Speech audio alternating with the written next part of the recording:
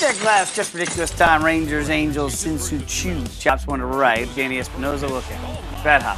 In the face! He'd be okay, but that stings the nostrils. Kind of in the hat. Rocks D-backs, bottom nine, Gerardo Parra. Look at Parra lay out, potentially save the game. Rockies would go on to win it, and that certainly helped. National Lacrosse League, Rochester, Georgia, game tied. Georgia pulls the goalie. Time winding down. Rochester's Graeme Hossack strips Lyle Thompson, gathers the loose ball into the empty net, and scores at the buzzer.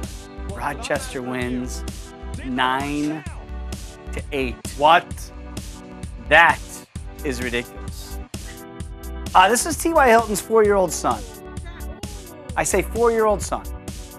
He's coming closer and closer. As kids get closer, they get then further away. Look at the moves from young Kiwi.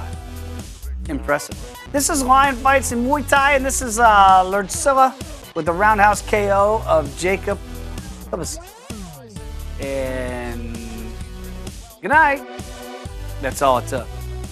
Back to the NLL. He's pumped. Saskatchewan Rush and Calgary Roughnecks. Rush goalie Tyler Carlson with the sick diving stop. What? Calgary, that will get the last laugh, 14 to 7. Clemson, North Carolina baseball. Bases juice. Kyle Datres with a diving throw to get the runner at home.